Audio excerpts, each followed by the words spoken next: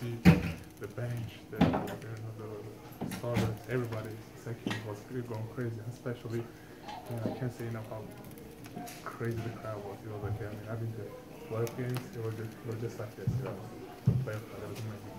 So, like you said, you've seen some big time games in Oklahoma City, Mhm. but how does it energize the team? How did it energize you guys all down the stretch when, when the energy was? Yeah, we actually spoke about it in a meeting uh, uh, before practice. Like, uh, third quarter we need to come out ready because everybody just getting drinks, getting popcorns and everything. So we want everybody to be there from the beginning of the second half. So no drinking, no popcorn, no hot dogs. Because we there to support us because we need them back. So Enes is telling the Knicks fans to be very focused, just Please. like this team is. But Yes. you know, you guys have had some good games lately. But what did you learn about your team tonight when you come back down from 19?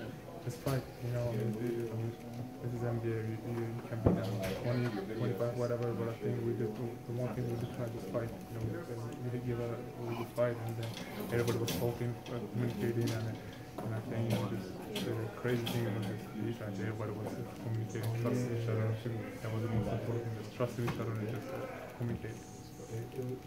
I'm sure there's a Yeah. Porzingis had a run of 15 straight, you know, for the Knicks. Mhm. Take that, he was doing all this network, and then he, can you just talk about the run? He scored the last seven in the third. I mean, we know that we, we're not going to take credit for on the high offense end because you got the, um, I don't know what to say, you got the, I feel he can make every shot. That's, um, just like, oh, unicorn, I feel like he can make every shot. See, all he wanted to do But, The key was was on Yes, Uh, it didn't show anything. We, did an unbelievable job.